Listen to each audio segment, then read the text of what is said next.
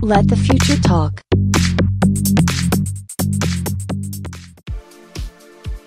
Wir sind drei sehr gute Freunde. Und ich würde nicht sagen, dass ich vor den auch sehr Mensch war, der auf jeden zugeht. Bei uns geht es in erster Linie halt eben um effektive Raumnutzung. Das möchte ich eigentlich jedem Menschen, der mir entgegenkommt, möchte ich davon erzählen. Hat das schon mal irgendwer gemacht? Kennt sich da irgendwer aus?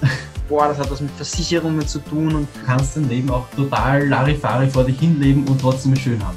Und es gibt zig Räume, die einfach leer stehen, die keiner benutzt. Ich fand aber das Gebäude war einfach, da war niemand. Man hat nichts gehört, nichts. Nur Leute reichen, deren Räume ansonsten nicht vermietet werden würden. Ja, nicht die eigene Idee verraten. Also gab's sowas? Oder seid ihr mir unheimlich?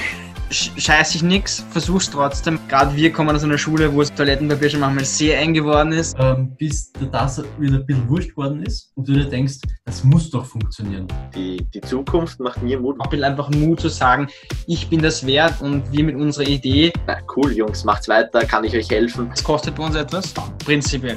Und haben heute eine, eine fertige Webplattform, auf der man Räume vermieten kann und Räume mieten kann. Irgendwie hat das was, irgendwie ist es eine coole Idee.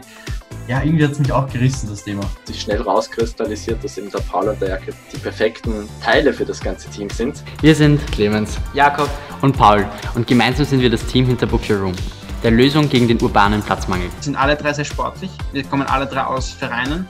Also, wo habt ihr die Kohle her? Dass du so ein bisschen einen Entrepreneurial Spirit, sagt man auch, ähm, da entwickelst. Und aus jeder Krisenzeit ergibt sich dann auch unverhofft einfach tolle Sachen. Und wir haben ein Praktikum gewonnen. Und Schulen waren bis jetzt, werden bis jetzt von keiner ein- anderen Plattform bis jetzt angeboten.